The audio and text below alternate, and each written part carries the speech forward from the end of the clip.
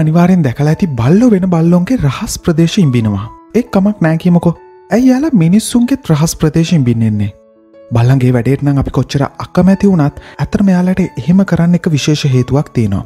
මොකක්දේ ඒ ගැන කියන්න කලින් බල්ලොන්ගේ අමුතු හැසිරීම් ගැන කරගෙන යන මේ වීඩියෝ මාලාවේ දෙවනි කොටසක් ඕනි කියල හිතන අය දාගෙන යමු මේ වීඩියෝකට ලයික් එකක්. වැඩි දෙනෙක් ප්‍රතිචාරත් එක්ක අපි දෙවනි කොටසින් කතා කරමු බල්ලු මොන හේතුවක් නිසාද තනකොල කන්න කියන කාරණාව ගැන. කතා ඇති. අපි යම් වීඩියකට බල්ලු ඇයි මිනිස්සුන්ගේ රහස් ප්‍රදේශයෙන් වෙන්නේ?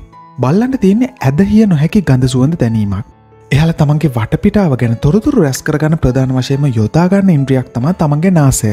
ඉතින් බල්ලෙක් ඇවිල්ලවාගේ රහස් ප්‍රදේශයේ ඉව කරනවනම් බයවෙන්න එපා. එම කරන්න යාලෝවාව අදුරගන්න වා ගැන දැනගන්න ඉති මේ විදිර බල්ලන්ට මිනිස් රහස්්‍ය කොටස් ආග්‍රහණය කල්ලා අපි ගැන මොනාත් දැනගන්න පුළුවන්? එයාලට පුළුවන්වා ලෙට වෙලා තින්න කියල දැනගන්න. එයාලට පුළුවන්වා සතුටින් දින්නේ නැත්තන් දුකින් දින්න කියල දැනගන්න එයාලට පුළුවන් වාලගේ මෑත කාලීන ක්‍රියාකාරකම් ගැන දැනගන්න එයාලට පුළුවන්වා මේ ළඟදි කාත්තෙක් හරි සංසර්කය හැසිරුණාද වගේ ලිංගික ක්‍රියාකාරකම් ගැන දැනගන්න අපි හිතමවා කාන්තාවක් කියලා එයාලට පුළුවන්වාගේ ඔස්සක්වීම වගේ කැප් ගැනීම ගැන ඔයාටත් කලින් දැනගන්න. එයාලට පුළුවන් වා මීට කලින් එක් දවසකට හරි මුණ ගැහුණු කෙනෙක්ද කියලා අඳුරගන්න.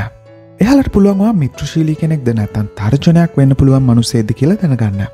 පේනවනේ එයාලට අපේ රහස් ප්‍රදේශවලින් නිකුත්තන ෆෙරමෝන්ස් වලින් අපි ගැන සෑහෙන තොරතුරු ටිකක් එකතු කරගන්න පුළුවන්. එනිසා බල්ලෙක්වාගේ රහස ප්‍රදේශ ඉවකරදි වැඩිය එක සීරියස් ගන්න එපා මොකද ඒ විදියට තමා බල්ලුවාව දැන අඳුනගන්නේ ඔටත් බලු යාලුවෙක් ඉන්නවා නම් දාගෙන යමයාගේ නමත් යටින් කමෙන්ට් එකක් විදියට. ඉති ජයවේවා